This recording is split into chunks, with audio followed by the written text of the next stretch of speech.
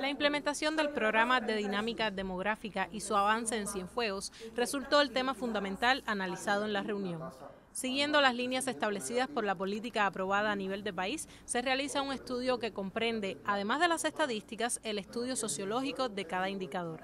La dinámica demanda esfuerzos conjuntos para desarrollar el programa de atención a madres con tres hijos o más, a la vez que requiere el fortalecimiento del programa de atención a la pareja infértil. Esto se debe al decrecimiento de la población, los bajos niveles de fecundidad y el creciente envejecimiento de la sociedad perlasureña en correspondencia con el resto del país. Durante el encuentro se analizó también la composición de los observatorios de cada municipio y su apoyo a los círculos infantiles e instituciones dedicadas al trabajo con el adulto mayor. Respecto al tema, resalta el envejecimiento poblacional de 21,4, cifra que representa que uno de cada cinco cienfuegueros tiene 60 años o más.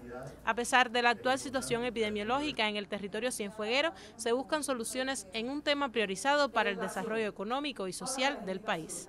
Desde Cienfuegos, Aliena Armas Enríquez, Sistema Informativo de la Televisión Cubana.